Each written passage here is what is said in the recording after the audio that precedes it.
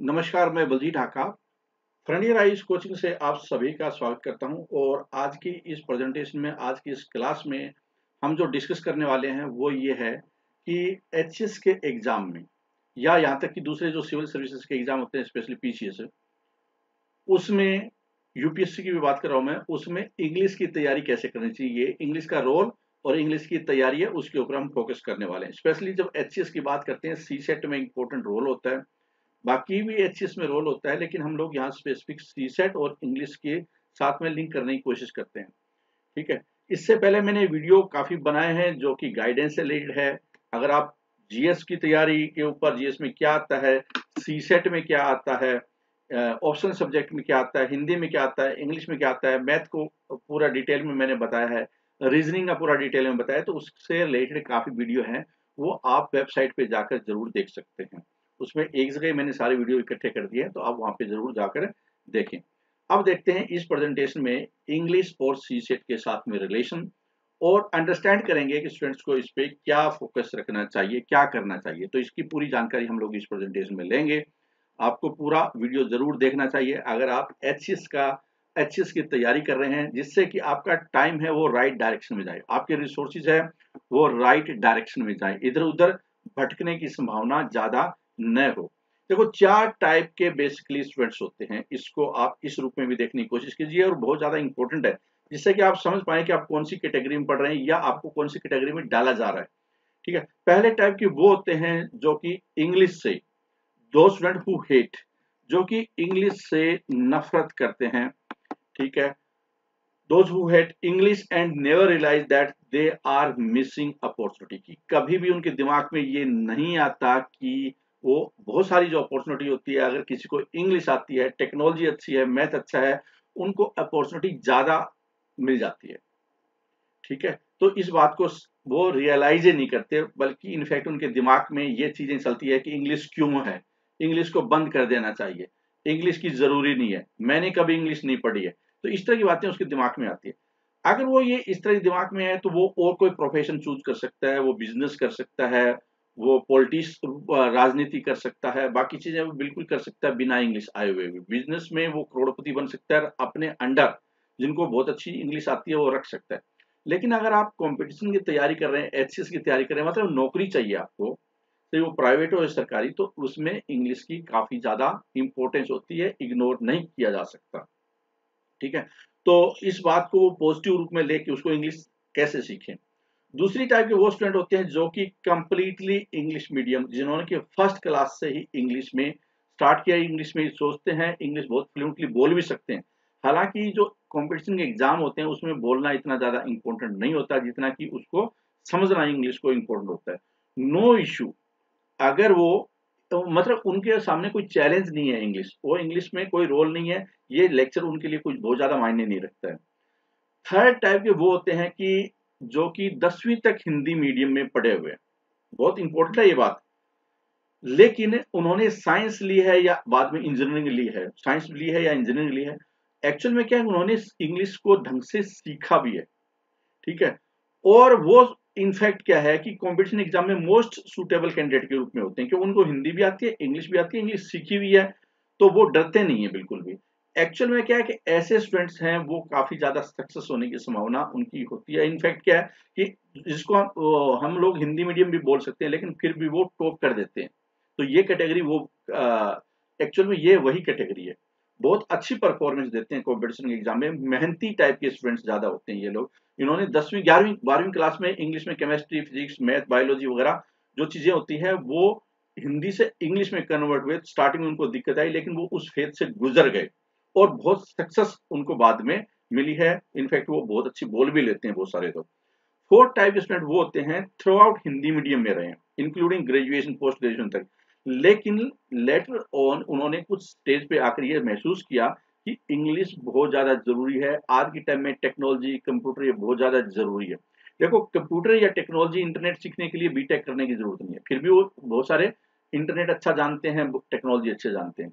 तो उसी तरीके से उन्होंने समझा कि ऐसा नहीं है कि उनको इंग्लिश मीडियम करने की ज़रूरत थी। बाद में भी उन्होंने सीखी अच्छी कमांड इंग्लिश पे उन्होंने ओवर ए पीरियड टाइम है वो डेवलप कर ली है। उनको इंग्लिश से बिल्कुल भी डर नहीं है। बजाय कि उनकी पूरी क्वालिफिकेशन इंग्लिश में हुई। तो उन्होंने एक पॉजिटिव उसको लेने की कोशिश की और कामयाबी की तरफ़ बढ़ रहे हैं।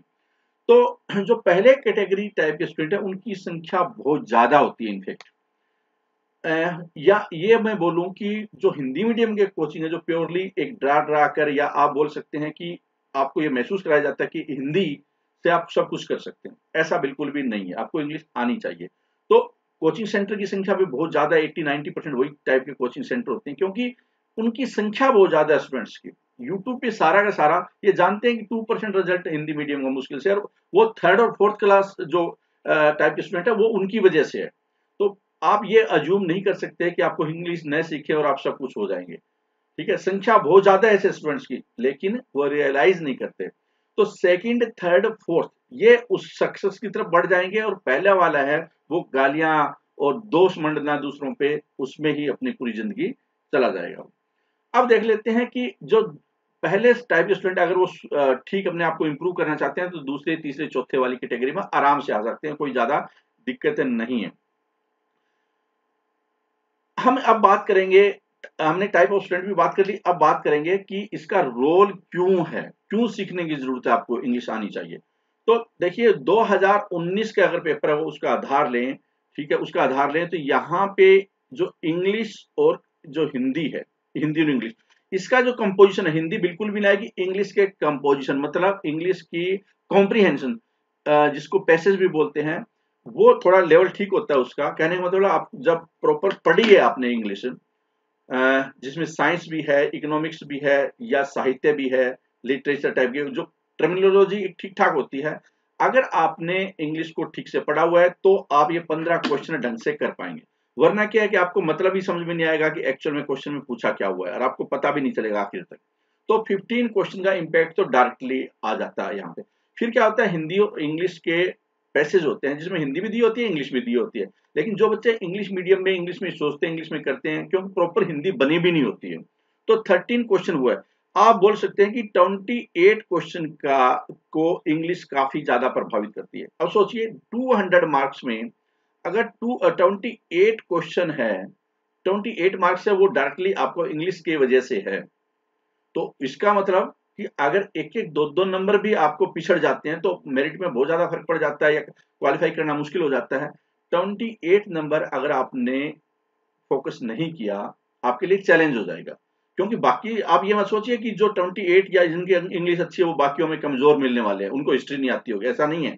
उनको साइंस नहीं आती होगी या पॉलिटी नहीं आती होगी, ऐसा नहीं है। उसमें भी बहुत अच्छा करेंगे वो। ठीक है? तो इस बात का ट्वेंटी एट का बहुत ज़्यादा इंपैक्ट है, उन स्टूडेंट्स पे पड़ जाएगा कौन सा? जो फ़र्स्ट टाइप के स्टूडेंट है फ़र्स्ट टाइप की कैटेगरी थे सेकंड थर्ड फोर्थ वाली, देखो सेकंड वाली कौन सी कैटेगरी थी? वो तो इंग्लिश थी, चलो उसके ऊपर तो हम उसकी डिस्कस नहीं करें थर्ड और फोर्थ वाले पिक कर लेंगे आराम से। तो थर्ड और फोर्थ वाले कर लेंगे। अगर फ़र्स्ट वाले थर्ड फोर्थ में आना चाहते हैं तो ज़रूर ज़रूर इस चीज़ को समझे। इसके अलावा क्या होता है इंग्लिश की जो इंपॉर्टेंस है वो हंड्रेड मार्क्स की मेंस में भी होती है। तो जो बच्चा ये पहली कैटेगरी वाला था तो, तो इसमें यहाँ पे भी मार्क आएगा। ठीक है यहाँ पे भी मार्क आएगा। कुल मिलाकर एच के एग्ज़ाम में 128 यहाँ तक हिंदी का पेपर भी आता है मेंस में उसमें भी एक इंग्लिश टू हिंदी ट्रांसलेशन करनी होती है। तो जिस बच्चे को इंग्लिश नहीं आएगी वो ट्रांसलेशन भी प्रॉपर नहीं कर पाएगा। ट्रांसलेशन भी वही कर पाएगा जिसको इंग्लिश आती होगी हिंदी में। ठीक है? तो 20 नंबर वहाँ पे, कुल मिलाकर आप बोल सकते हैं to one hundred fifty marks directly English के साथ लिंक है। इसलिए जो बच्चे इसको इग्नोर करेंगे, या क्या है कि एलिमेंट्री इंग्लिश को नहीं सीखेंगे, या क्या हर बात में उनको हिस्ट्री इंग्लिश में, हिंदी में पढ़नी है जी, इसका मतलब पता नहीं है। आप हिंदी क्यों बोल रहे इंग्लिश में बातें इंग्लिश के वर्ड्स क्यों यूज़ कर रहे हैं, हिंदी ज़्यादा यूज़ कीजिए। तो एक्चुअल में क्या है कि इन स्टूडेंट की संख्या ज़्यादा है, लेकिन दिक्कत है, बहुत बड़ी दिक्कत में होंगे वो। क्योंकि एग्ज़ाम क्वालिफाई नहीं होगा बड़े लेवल का। ठीक है, जहाँ पे कि इंपॉर्टेंस आपका मुकाबला सीधा इन स्टूडेंट्स के साथ में होना है मेहनती स्टूडेंट के सेकंड और थर्ड वालों के साथ में और फोर्थ के साथ में तो दिक्कत आएगी। तो ये मैंने रोल बता दिया कि क्या क्या अब आ जाता है कि अब इसको ठीक कैसे करें? अब इसको ठीक कैसे करें कि कॉम्पिटिशन एग्ज़ाम क्वालिफाई पहली बात तो क्या आपको बहुत ग्रेट इंग्लिश की जानकारी होना ज़रूरी नहीं है। आपको एलिमेंट्री आनी चाहिए। ये जो सारी राम कहानी है ना, वो एलिमेंट्री एजुकेशन की है। लेकिन एलिमेंट्री का मतलब ये नहीं है कि वो ठीक ठाक नहीं होनी चाहिए ठीक ठाक होनी चाहिए। फ्लुएंटली वो रीडिंग बहुत अच्छी ढंग से स्पीड पे कर दे और इंग्लिश को इंग्लिश में ही समझ ले। उसको हिंदी बनाने की ज़रूरत नहीं पड़े दिमाग में। तो इसके लिए एक तो आपको वोकैब भी आनी ज़रूरी है। अगर वो कैब नहीं आई मतलब नहीं पता चलेगा। साइंस की कुछ टर्मोलॉजी होती है बायोलॉजी की टर्मोलॉजी होती है इकोनॉमिक्स की टर्मोलॉजी होती है पॉलिटिक्स में टर्मोलॉजी होती है ज्योग्राफी की टर्मोलॉजी है तो उसको अच्छी तरह से समझो। वो कैब आनी चाहिए उसको। फिर उसकी ग्रामर भी आनी चाहिए। अगर ग्रामर में नहीं आई है तो कहीं कहीं दिक्कतें आएगी। 100 जो 48 नंबर की बात कर रहे हैं, वो कहीं कहीं मार्क आएगा और डायरेक्टली क्या मेन्स में तो क्वेश्चन आते ही हैं।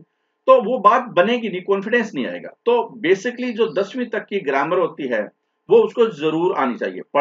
ये टेंसेज है नरेशन है वॉइस वॉइस है क्लोज टेस्ट ये इस तरह, सारी चीज़ जो कॉम्पिटिशन एग्ज़ाम में होती है, वो आमतौर पर इतनी ज़रूर उसकी होनी चाहिए। तभी वो कॉम्प्रीहेंशन को भी डायरेक्ट ढंग से समझ पाएगा। और कॉम्प्रीहेंशन तो ऑब्वियसली क्या उसको आनी ही चाहिए, क्योंकि इसका तो मेन है सी सेट में तो ग्रामर क्या है? ओवरऑल परस्पेक्टिव रोके ओवरऑल चीज़ों को समझने के लिए और कॉम्प्रीहेंशन है, वो डायरेक्टली आपसे पूछे जाएँगे। लेकिन कॉम्प्रीहेंशन तभी कर पाएँगे जब मतलब वो मीनिंग तो आता हो। अब आ जाता है कि जब इतनी इंपॉर्टेंस समझ ली हमने, और हमने ये भी समझ लिया कि आपको नेगेटिविटी दिमाग में रखनी ही नहीं है, सफलता के लिए ज़रूरी है ठीक है रिज़ल्ट तभी आएगा जब आप इसमें सोचेंगे। तो अगर आप हिंदी मीडियम में में भी आप कोई एग्ज़ाम दे रहे हैं तो कोई दिक्कत नहीं है, लेकिन आपको इतनी तो आनी चाहिए ना जो मैंने बताई है। ठीक है? तो क्या क्या स्टेप उठाने चाहिए इसको करने के लिए? एक है कि आपकी रीडिंग हैबिट और रीडिंग फ्लुएंसी बहुत अच्छी होनी चाहिए। वो कब होगी रीडिंग हैबिट इंग्लिश की बात कर रहा हूँ मैं।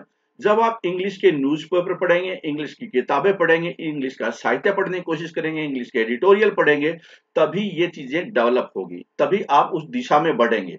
ठीक है? ऐसे कोई हवा में कोई आपके पास कोई ऐसी दवाई नहीं निकलने वाली है कोई इंजेक्शन नहीं होता कि आप रातों रात इंग्लिश सीखें, एक कंटिन्यूस लंबा प्रोसेस होगा, अगर जो बच्चे पहले वाली कैटेगरी में पढ़ रहे हैं, लेकिन वो पॉजिटिव ज़रूर है ये दो तीन अखबार आप ज़रूर इसमें से कोई एक हो द ट्रिब्यून हो, इंडियन एक्सप्रेस हो, हिंदू हो, जहाँ पे कि एडिटोरियल पढ़ने को मिले, थोड़ी लैंग्वेज ठीक ठाक हो।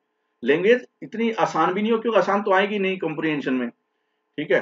तो ऐसी चीज़ें आप ज़रूर पढ़ें और बहुत स्पीड के साथ में पढ़ें। अब ऐसा नहीं है कि साथ में डिक्शनरी है मतलब एक पैराग्राफ पढ़ने के लिए आपको पूरा दिन लग जाता है, फिर आपको दिक्कत आएगी। आप बोलेंगे कि अगर लेवल इतना हो तो फिर आपको पूरा ध्यान है तो एक बार दोबारा छठी से लेकर दसवीं तक की किताबों में वो कैब को डेवलप करने में लगाना चाहिए। अगर आप छह महीने भी अगर इंग्लिश इंप्रूव में लगा जाते हैं तो चांसेस बढ़ जाते हैं किसी एग्ज़ाम को क्वालिफाई करने के लिए। वरना क्या कि फिर वही हरियाणा जी के हिस्ट्री पढ़ते रहेंगे, हिंदी मीडियम में पढ़ते रहेंगे, ज़ोर लगाते रहेंगे, कोई भी एग्ज़ाम क्वालिफाई नहीं होगा इंक्लूडिंग ग्रुप डी भी। ठीक है? तो जो जो चीज़ चाहिए वो तो आपको करनी पड़ेगी ना। कम से कम बेसिक लेवल तो अगर सिविल सर्विसेज़ करते हैं तो फिर ये तो अच्छा लेवल चाहिए। Previous year old passage passage UPSC CSAT का जो पैटर्न है, बिल्कुल एच वाला पैटर्न है। तो जितने भी कॉम्पिटिशन के एग्ज़ाम जितने भी वहाँ पे कॉम्प्रीहेंशन आए हैं, वो सारे के सारे अच्छे ढंग से आ जाने चाहिए आपको। कॉम्प्रीहेंशन मतलब कॉम्प्रीहेंडिंग एबिलिटी की, सोचने की क्षमता, आप इंग्लिश में किस ढंग से सोचते हैं, वो पूरी आपकी टेस्टिंग हो रही है वहाँ पे। तो वो आपके लिए बहुत ही अच्छा कंटेंट है, अगर थोड़ा सा इंप्रूवमेंट ज़्यादा हो गया आपका इंग्लिश में तो ये फिर आपके लिए बहुत बढ़िया मदद करेगा। देखो, कई बार क्या होता है स्टार्टिंग में कोई चीज़ें समझ में नहीं आती है, लेकिन आप लगातार लगे रहेंगे, लगातार लगे रहेंगे तो आपको आएगी। अगर आप साइकिल भी सीखते हैं स्टार्टिंग में तो क्या होता है स्टार्टिंग में? गिरते हैं, खड़े होते हैं, फिर गिरते हैं, खड़े होते हैं, फिर गिरते हैं। स्विमिंग भी सीखते हैं, तैराकी सीखते हैं तो बहुत एक दो महीने दिक्कत आती है स्टार्टिंग में, हाथ पाँव नहीं चलते हैं। तो ये सारी स्टोरी इसके साथ भी लिंक है। अगर आप इंग्लिश भी करेंगे तो स्टार्टिंग में दिक्कत आ सकती है। लेकिन जब पाँच, छह महीने आप लगातार लगातार करते रहेंगे तो इंप्रूवमेंट आएगा। ठीक है? Practice on English comprehension learn complete grammar and vocabulary at least elementary level दसवीं तक की तो आपको बहुत अच्छी तरीके से आनी चाहिए। जो हम ये कोर्स कराते हैं एचएस वाला ऑनलाइन कोर्स इसमें हम लोग कंप्लीट ग्रामर वोकेब जो कि दूसरे जो कॉम्पिटिशन एग्ज़ाम में आते हैं वो इसके साथ इसका कंपोनेंट है, जिससे कि आपको इंग्लिश अगर नहीं आ रही है तो इंग्लिश सीख लें, ठीक है? वहाँ पे पूरे टेंशन सिखाए जाते हैं सब्जेक्ट वर्ब एग्रीमेंट है एडजेक्टिव क्या होते हैं प्रनाउंस क्या होते हैं वर्ब क्या होती है, सारी चीज़ें उसमें आपको बताई जाएगी idiom phrases one word substitution तो इसका मतलब अगर वो कोर्स भी कर लेते हैं तो फिर ये छठी से लेकर दसवीं तक पढ़ने की ज़रूरत नहीं है, क्योंकि वो कंप्लीट उसका अल्टरनेट है, आप ये भी बोल सकते हैं, ठीक है? Learn complete grammar and vocabs अच्छा watch watch videos programme in English as much as possible and read as much possible in English only अगर आप ये कर पाएँगे तो इसका मतलब क्या?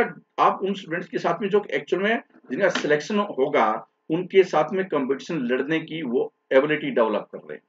अगर आप ऐसा नहीं कर रहे हैं और किसी कंपटीशन की यूपीएससी की तैयारी कर रहे हैं एचएस की तैयारी कर रहे हैं तो इसका मतलब कि आप उस कैटेगरी में हो रहे हैं कि आखिर तक पता भी नहीं चलेगा सिलेक्शन क्यों नहीं हो रहा। सिलेक्शन क्यों नहीं हो रहा? फिर आप ये बोलेंगे कि 98 परसेंट जब इंग्लिश मीडियम का हो रहा है, सिर्फ़ एक दो परसेंट वाले हिंदी मीडियम है तो ये पब्लिक जा दिक्कत कहाँ पे आ रही है? फिर आप गालियाँ देंगे कि उस कोचिंग सेंटर को।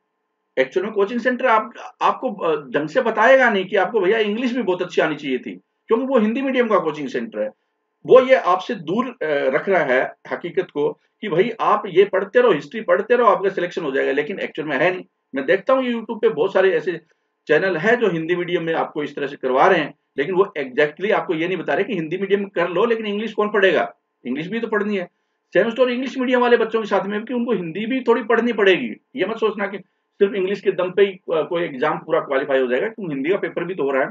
स्पेशली एच आई में चल जाएगा सिर्फ़ इंग्लिश में। हिंदी में नहीं चले एच में कुछ हिंदी आनी चाहिए।